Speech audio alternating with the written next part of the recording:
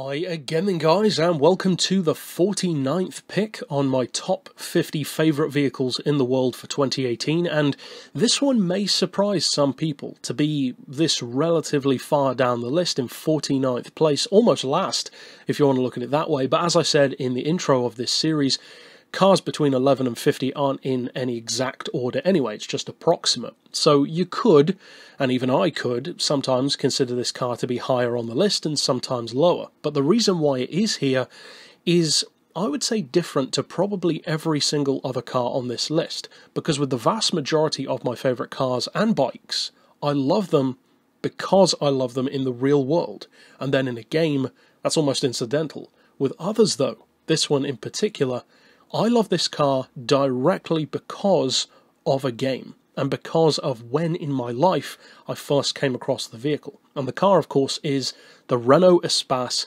F1, what you could say is the ultimate unicorn of the Gran Turismo franchise.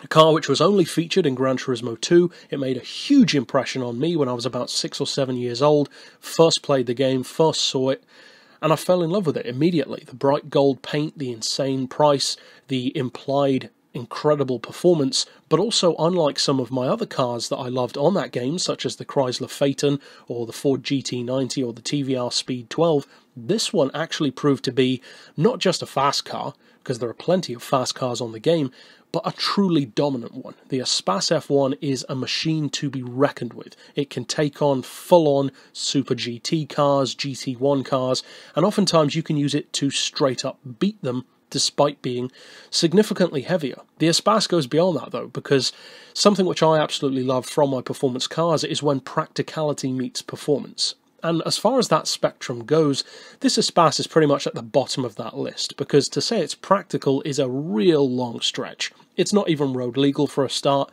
If you sit in the back without a helmet on, you're going to end up deaf, and you can't really put any luggage in the back because it'll probably catch on fire from the engine. But I mean practical in as much as it has four seats for no real reason, just for the token of having four seats. And I love that. That was completely unnecessary. When you look at vehicles like the Ford Transit Supervan, it only has two seats. Now, of course, that car was a van to begin with, but you probably get the point. This car didn't need to have that token towards practicality, but they did it because it was to celebrate the anniversary of the Espace. And what better way to do that than to have that little almost comedic flair of practicality in a car which is about as anti practical as you can possibly get? Now, for those who maybe aren't familiar with the car, which I don't think is many people, it's an F1 engined people mover, people carrier, minivan, whatever you want to call it. And the engine in question is a mid mounted Williams 3.5 litre V10 putting out in excess of 800 horsepower, around 850, at least some quotes say that, some say closer to 800, and the performance on this thing is incredible. It was in the Guinness Book of Records at the time for being in the top 10 fastest accelerating cars in the world, production or otherwise, road legal or otherwise, with a 0 to 60 time of about 2.6 seconds, some say 2.7. Either way, it's pretty rapid, on par with something like uh, an Ascari A10, for instance, even faster than a Gumpert Apollo, which again is incredible for a 1300 kilo minivan. But it's not just acceleration, because this car doesn't look all that aerodynamic, but it can still hit 194 miles per hour.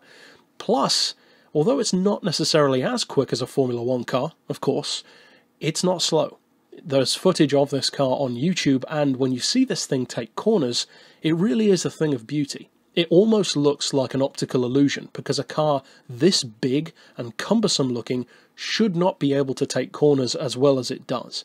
And it has a special place in my heart because of Gran Turismo 2. So, although it's not one of my absolute favourites, which of course is why it's not higher on the list, it will always have a special place for me, and that's why I decided to buy one. I've got it sitting on my shelf in front of me, and it's a great car. But that's it overall for this particular pick. Of course, you can check out the playlist at the end of this video to see all of the other episodes. And for now, as always, thanks for watching.